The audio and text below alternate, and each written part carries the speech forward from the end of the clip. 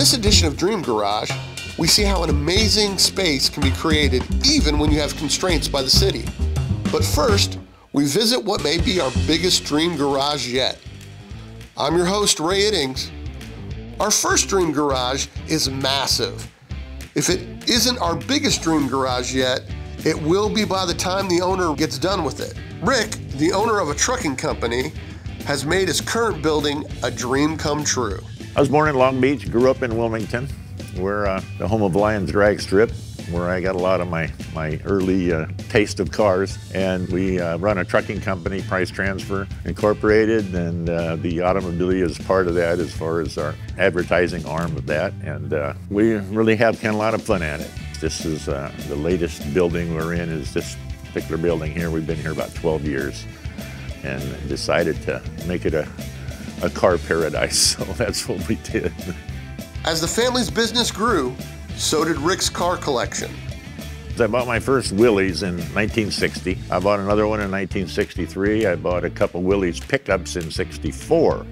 And I've had them since we've always been in the warehousing transportation business. I've had them sitting around, but it wasn't until uh, we moved into this facility here where it kind of lent itself to opening a shop. Rick had high expectations when he decided to build this dream garage. Rick made sure there was enough room to do everything the right way and even had people to do it.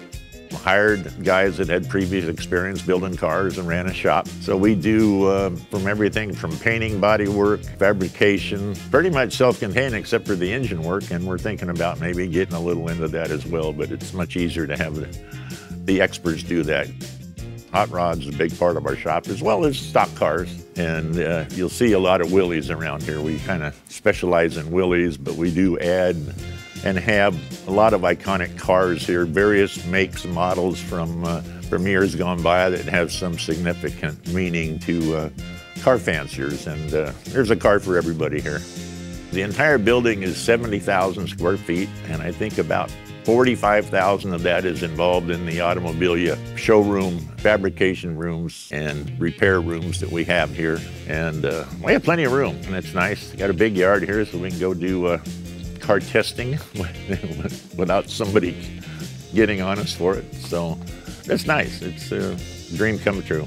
The main focus of Rick's collection are the hot rods he grew up with. I've always liked loud and fast cars, and that's where I started uh, building my Willys collection because they were the the, uh, the gassers of the 50s, 60s, especially. Those were the cars that I followed very heavily. I just got into cars and noise, and that's why I lost all my hearing.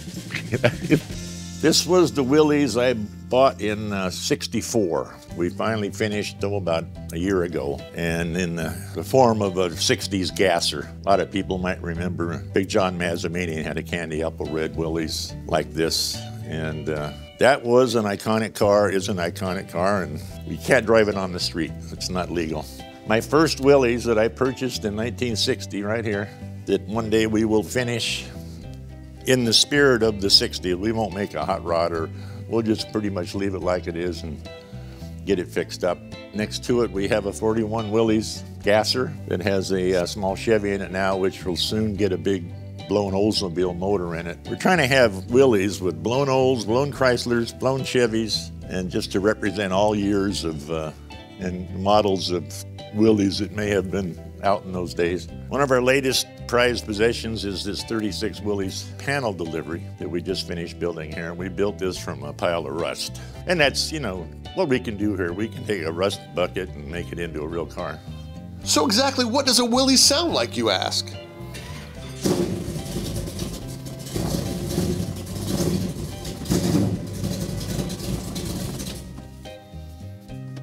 little cold-blooded, it'll warm up. Outside of the Willys collection is a ton of classic cars. One vintage pickup truck bears responsibility for everything in Rick's collection. This is uh, our basically our first truck that the company started with. 1961 Chevy. Didn't look quite as nice then as it does now. It's been had a little tear to it, but uh, that is what started the company and actually was the backbone of the company for probably 15 years. Until we moved into our first warehouse. All we did is haul baggage, passenger baggage, nothing big. And it was me and my dad usually that drove around in it doing this. So that's the start of it all. Inside Rick's Dream Garage, a facade of the past. And it houses fond memories of when he worked at his dad's Texaco station.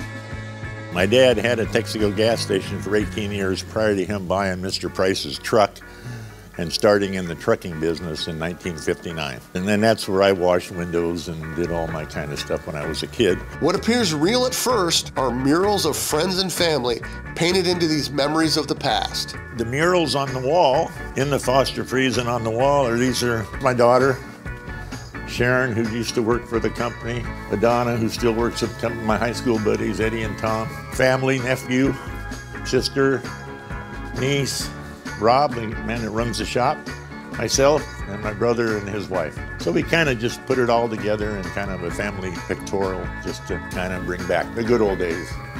And this is Wilmington, Pacific Coast Highway between uh, Wilmington Boulevard and Avalon. This is where we spent most of our time eating El Taco, your Wiener Schnitzel, Jamar Drive-In. That's where we live on that block there and cruise around town all the time. Foster Freeze, right next door. Speed shop, we used to, as kids, being hot rodders, we used to always wind up in speed shops. So we had to have a speed shop, you know, next to our, uh, our nostalgic stuff. I grew up in the 50s, 60s, and that's the theme here. I think those were the good days. 61 Chrysler 300G, very uh, large, iconic car from the day. This was actually, you could call this one of the beginning muscle cars as well, even though it's a lot heavier than most. Let me show you a feature this had. Besides push button transmission, it had swivel seats. At the end here we have a 61 Cadillac convertible. It's called the Eldorado Biarritz, which is the, the top of the line just a totally gorgeous, beautiful car. Interior matches the exterior. It's just awesome. 21 feet long. And how about this? Around the corner is a fully functional diner. Well, we built this uh, diner uh, off of a number of pictures and menus. We uh, designed it ourselves here, put it together. We had the help of a movie set guy that helped us design this and pick the colors. And right behind it is the arcade, which uh, has a number of of our pinball machines in it that we like all the records are original records and their covers that were framed out and baseball pinball machines. There's about four of them here. All games aside, Rick is already expanding this massive dream garage. This is the uh, future edition, probably ready in a couple months. We're going to have a movie theater uh, front there. We have a hobby shop as our first room here, and then we're going to have a record store a little cigar store, and a barber shop, and the movie theater. And this will all be here finished out, and the rest of it will be car parking. This dream garage is endless. This is our finishing area for finishing the cards or doing the, uh, the service on them or repairs when needed, the minor work. This 42 Willys pickup truck, it's my daughter's and she's very proud of it and she claims to win more trophies than I do and so we have that argument. 62 Chevy Nova convertible. The last year they made convertibles in a Nova. Outstanding car. And Adana, who runs our company here, she drives this one around. 57 Chevy Bel Air hardtop, classic American hot rod classic car. 51 Hudson Hornet, won NASCAR back in 51 and 52, I believe. This was the fastest car on the road. It's only a six cylinder twin H power, but believe it or not, back when NASCAR in its early days, this is the car that won two of the championships. Thelma and Louise, the movie, that's the car, not the car, but the make 66 Thunderbird. That's the one, not the one that went off the cliff. It's a 50 old coupe that we're just finishing building now, built in the fashion of a 1950s hot rod, what you'd have done back in the 50s. Nosed and decked and uh, three twos and got the regular Olds motor in it. But this is what you'd have probably done back then. And that's why we built that, to stay in the original mode. And here you have a one of a kind, or there may be two of them, Willys uh, Roadster. This was built by uh, Taylor, the, uh, he built fiberglass bodies, and he took a coupe and cut the top off it, made it into a Roadster. So it's very unique, totally awesome, faster than heck. Fast is important. In yet another area of this building, Rick has a stockpile of future projects. This we call the boneyard. These are all future projects that we have that we will accomplish within the next 10 years. Probably. I hope I'm wrong that long. But we have big Chrysler Elephant motors, Oldsmobile motors. And this one, if anybody's watching that can identify that car, it was a custom, it was a Willys that was narrowed with a lot of custom work done on it. And it was done back in the 50s and it belonged to some ladies up in Pebble Beach. And I think they narrowed it so they could go on the golf course. Can anybody identify who built that car? That's what we're looking for. 31 Willys uh, Roadster, all stock. Actually, this is right-hand drive that was built in Australia. The headlight assembly on this car is called a wood or woods. The headlight assembly and the uh, accessories with it cost as much as the car. Each project takes about a year, some year and a half, and some of the real detailed ones where you're trying to make a, a real special car could take two years to build. So right there in that lineup, we have 12 cars that could be uh, 12 years. At the heart of this dream garage is a fabrication shop. We're working on this 22 Willys Knight, which is all the woodwork we did from our wood shop. This car was like half its wood and um, we had to restore it because the termites termites had 100 years to eat on this thing and they did a pretty good job. And it's going to be a great great car a great stock car. We keep it stock right over here we have the frame of a 36 Willys pickup truck. And this is how you all start on restoring cars. You, you build the frames and then you get the bodies and you get everything going here. This is all fabrication. This is our body shop here that we do the body work and prepare it for painting. What we have in here now is a, uh, a 1950 Studebaker convertible, kind of a, a very iconic car. It's got the bullet nose front end, very rare. We don't know. There's not too many of these around, but we're restoring it original. It's not going to be a hot rod. It's going to be original. We have a car in here we're painting.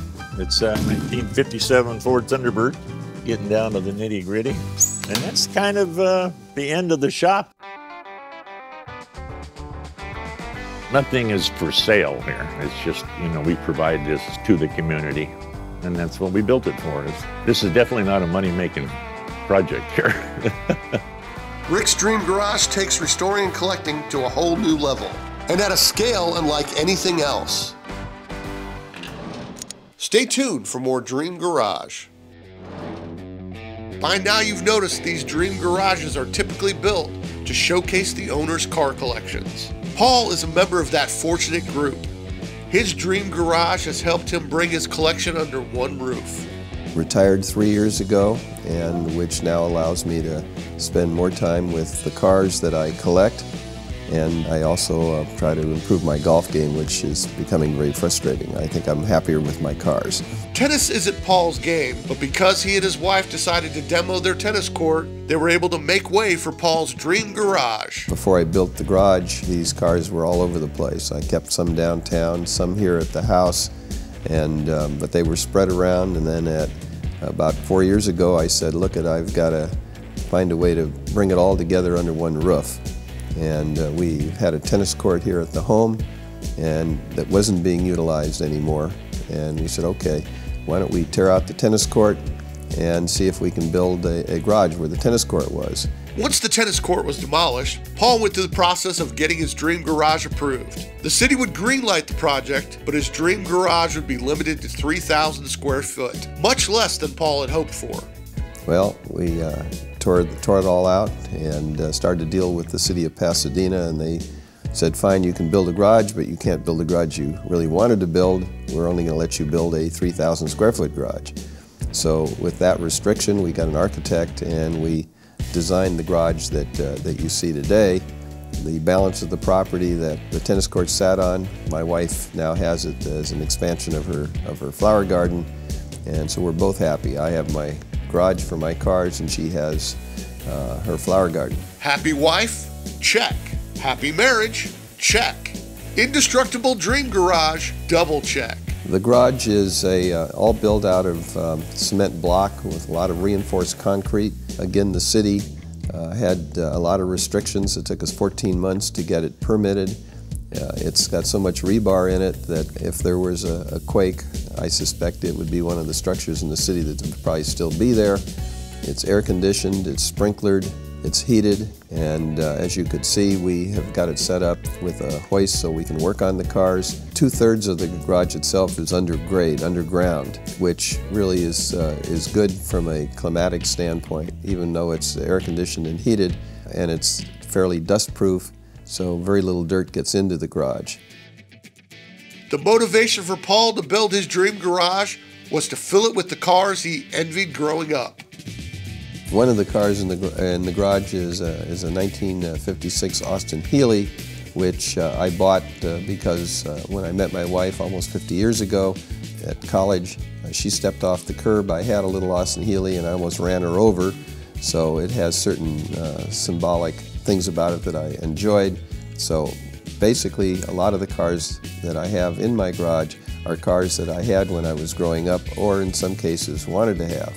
Over here we have a uh, 56 Austin Healey Factory M, and uh, it's a real Factory M. Uh, they made 640 of these for racing. And the factory sold the dealers the same pistons and everything else, then dealers would install them, but they weren't one of the 640. What makes this thing very unique is that it really was one of the 640. It's certificated, certificated as one of them, and it was built for racing by the factory. One of Paul's favorites is a 1955 Mercedes 300 SL Gullwing. To give you an idea of what we have here in its day, which was the mid 50s, this is a 55, it was about the fastest production car around. It, it beat everything at the various major races around the world. Most collections around the world now appear to have a uh, 300 SL, uh, not because it's a, you know, a $10 million car, because it's not but just the idea that it was so far ahead of its time when they built it. It uh, first car to have fuel injection. It's a mechanical fuel injection, but it was the very first car to have fuel injection. For those of us that don't have four million or so for a Gullwing, Paul has another option for you. Over here is the poor man's 300 SL. It's a 190 Mercedes 57 uh, I've had it for a number of years. We restored it. All these cars we're talking about uh, have been restored, and for the most part, they're all show cars. This car is a four-cylinder car. It's really very pretty. Mercedes builds great cars. Uh, this one isn't fast, but it's, I think it's uh, the design of it, which is very similar to the 300 SL. It's a beautiful car, extremely well made. Uh, it's not a, a, sports car. It's a, a car that is you know, fun to drive on the open highway. Obviously, in the city, it's just fine, but it's not a race car. It just looks pretty. When we built the garage, we said, okay, we need to have a, a place to be comfortable because one of the good things about uh, having a garage at your house is you can come out on a Sunday morning in your pajamas with a Bloody Mary and enjoy your cars rather than get in your car, you know, drive for 15, 20 minutes or an hour to some uh, industrial park where most of these uh, collections usually are. And in this case, I can walk, you know, 100 and 200 feet and be in my own environment with my garage and my cars. So what we did is we allocated a certain portion of the garage for sort of a, a sitting area. We have a bar in there, we have a 1011 jukebox, a Wurlitzer jukebox, we have slot machine, and we have the, the Coke machine, we have a beer dispenser, we have a little wine refrigerator, we have some cases around here that have the trophies that these cars have won over the years. But we come out here, the grandkids come out here, we can play the jukebox and the kids can uh, listen to all the 50s music which is in the jukebox and it plays old 78 records. And it's in there is all the original 78 records that they played in the 50s. Here we have a, a 62 Porsche 356 twin grill Super 90 Roadster. This car is a little different. There's only 25 of these in the world. Essentially Porsche in 62 made 250 twin grill Roadsters. They only made 25 of them that have the motor in it that this has, the Super 90 motor.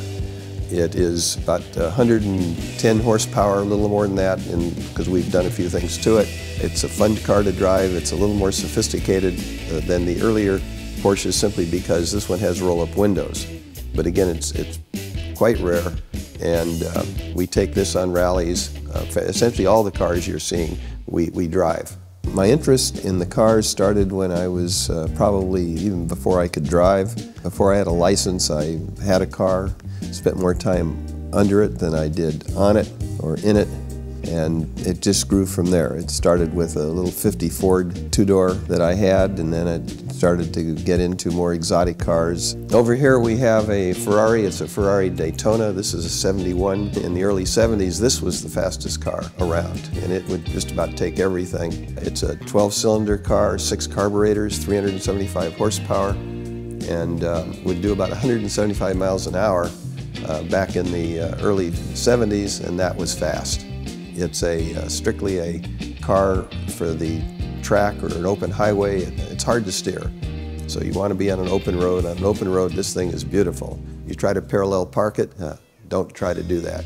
It can't be an official dream garage if there isn't a 32 Ford under the roof. Over here, we have a 32 Ford full-fendered Roadster. This is a 50s hot rod. I've had this for a number of years and it's uh, under the hood it's got a, uh, a, supercharged flathead motor it has a Columbia rear end but everything in it is strictly period for 1950s hot rodding. And not far from that 32 are these beautiful Corvettes. The 55 Corvette was the first year they put a V8 in a Corvette. This body style started in 53. In 53 they made 300 of these cars. Then in 54 same body style, they made 3,500. And then in 55, when they put the V8 in the car, they only made 700 of these cars. It has a, a two-speed power glide transmission, which is kind of unfortunate because it's somewhat of a slug, but it looks good and it's somewhat collectible because it's one of 700 that had the V8 uh, motor put in them. This next to it is a 57 Fuelie. Now, that's a whole different ballgame. In 1957, this is the first car that uh, Corvette built that they put fuel injection in, and this thing's a hot rod. This thing really moves. You compare these two, considering they're only two years apart, the performance difference is dramatic. This thing is a four-speed, very, very high-performance motor. The fun of being a car collector is being involved in the restoration process. Paul tries to be as involved and hands-on as he can. I like to somehow participate to some extent in the work that's being done with my cars. So these people that work on them I've known for a long time and I try to help in every way I can and I enjoy doing that. This garage is a working garage even though it's set up as a, uh, a garage that you can come out and, and enjoy looking at the cars. I have a mechanic, a Porsche mechanic that comes here and works on the cars. I have a Ferrari mechanic that comes out, a Mercedes mechanic and various other people that come to the garage to work on the cars. Occasionally I have to take them uh, to various shops, but I try to get the people to come here if at all possible. We have a hoist. We have uh, most of the equipment needed to do the majority of work uh, on any of the cars that uh, need attention. Here we have a 1962 uh, Mercedes 220 SE Cabriolet. I'm the second owner of this car. We got it we re-restored it, took it down to the metal, everything in it, we, we went from scratch. And it's, uh, again, it's a, uh, certainly not a race car, but you drive this car, it would be like driving the new Cadillacs today or luxury cars today. It just uh, is a wonderful car to drive. It, it's real comfortable. Again, it, it's not a, a, hot rod, but it is probably a, just a very, very fine passenger car. And as you can see, it's just a very pretty car. Over here we have a car we're just in the process of, of finishing restoration on. It's a 56 Alfa Romeo. It's a CSS three-window coupe. And I think it's one of the prettiest cars that uh, Alfa has built. And we are in the final stages of completing restoration on it. Uh, it'll be primarily used for rally. I may show it a couple of times before I put it into a rally, but it'll be a wonderful rally car. We're in the process of putting a five-speed transmission in it. Right now it has a three-speed column shift, which um, some of them came with that, some did not. Unfortunately, this did. So we're putting a, a more modern five-speed floor transmission in it, which will make it a whole lot better to drive and certainly for rally uh, purposes. Here we have a uh, 1960 Ferrari PF Coupe. That's Pininfarina Coupe. Uh, this car, again, is a 12-cylinder car. It's a GT car. It's not a race car. It's certainly a very good rally car. This car we've put in, oh, half a dozen shows. It's won everything. This, this car is just, again, it's not a, um, a race car, although it's got the same motor in it that some of the race cars have, but this was built more for a GT type of driving, not necessarily uh, heavy duty racing. I think anybody that's in the car hobby has certain cars that they kind of lust over as they uh, grow up and uh, finally are able to, to purchase the car. Most of them, it's primarily because I like the design of the car and the, uh, the performance of the car and the fact that when it's all over and done with, uh, I make these investments, and they really are investments because I know they'll appreciate. So I'm really transferring one asset to get another asset. So I look for cars that are collectible today, or in my opinion, will be even more collectible a few years from now. Paul overcame the odds of a city that wasn't favorable to his vision of a dream garage. He is now enjoying retirement, his cars, his wife, and that flower garden. I'm your host, Ray Iddings. Join us next time for more Dream Garage.